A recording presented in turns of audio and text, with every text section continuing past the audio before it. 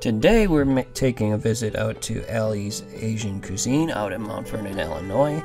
It's kind of nestled behind CVS off of Highway 15. It's at 101 South 27th Street.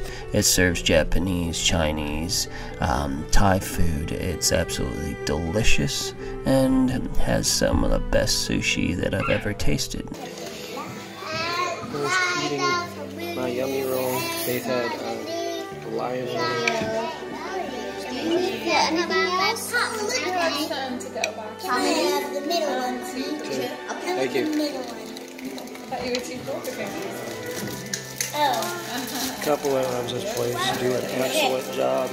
We had a lovely little meal at Ali's Asian Cuisine out here in Mount Vernon. I had a really good yummy roll. Faith had, A delicious lion roll. And then we got Sam uh, Japanese fried chicken fried rice, and Joy had Chinese chicken fried rice, and then Evan had chicken lo mein. And I had amazing crab.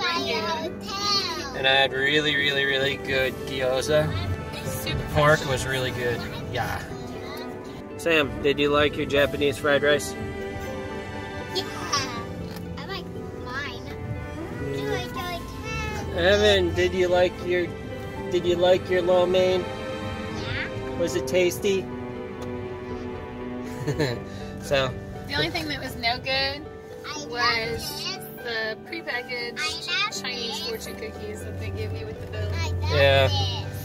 What's but this? it's like the one thing that always happens at most Asian cuisine over here that I think most most of them could get rid of and everyone would just enjoy the experience that much more is fortune cookies.